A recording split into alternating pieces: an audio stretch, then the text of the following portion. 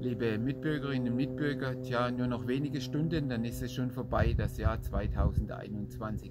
Ein Jahr, das gefühlt eigentlich keines war, zumindest nicht so richtig. Denn die Pandemie hatte uns weiter im Griff.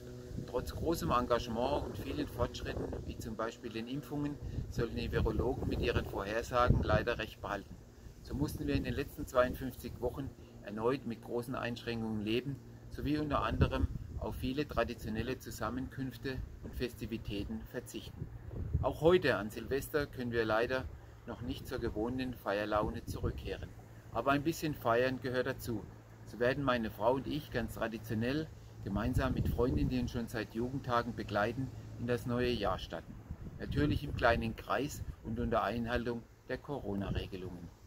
Ich weiß zwar nicht, wie Sie alle den Silvesterabend bzw. die Neujahrsnacht verbringen, Vielleicht besuchen Sie zum Jahresausklang einen Gottesdienst, vielleicht treffen Sie sich mit Menschen, die Ihnen wichtig sind, vielleicht genießen Sie den Jahreswechsel aber auch einfach ganz gemütlich zu Hause.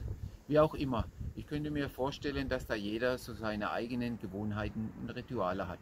Und das ist auch gut so. Nun das neue Jahr. Wie sollen oder wollen wir es angehen? Was oft dazugehört, sich gute Vorsätze ne-, vorzunehmen, neue Ziele für 2022 zu stecken oder einfach guter Hoffnung ins neue Jahr blicken. Dabei kann und soll man durchaus ein paar Wünsche mitnehmen.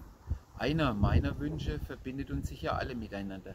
Es ist der Wunsch, dass unsere Familien im neuen Jahr gesund bleiben und die Pandemie unser gesellschaftliches Leben irgendwann nicht mehr dominieren wird. Ja, und für unsere Stadt wünsche ich mir, dass wir bei unseren vielen vorhabenden Projekten gut vorwärts kommen.